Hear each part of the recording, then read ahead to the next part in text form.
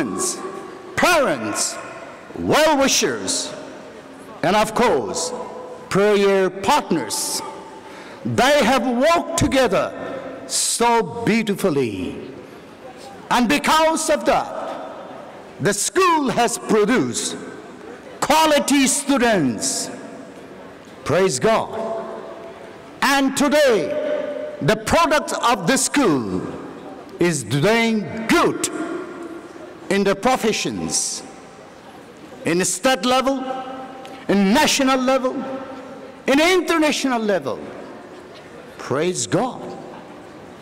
I'm happy to tell you this evening on this occasion that I was indeed glad to conduct a holy matrimony of an officer who is a product of this school recently. And the Lord spoke to me very clearly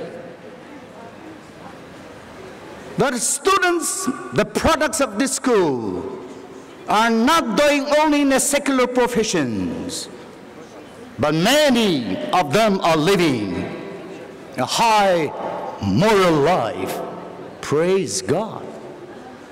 Not only that, but few of them have joined church ministry and they are doing sincerely, faithfully, giving the best for the Lord.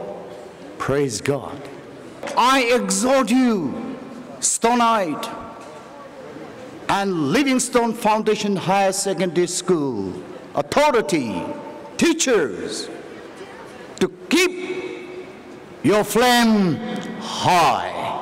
Praise the Lord.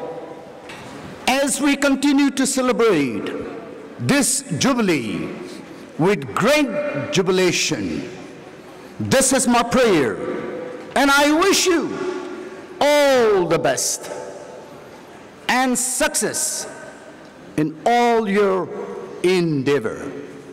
I assure you, and I call myself that I'm your prayer partner.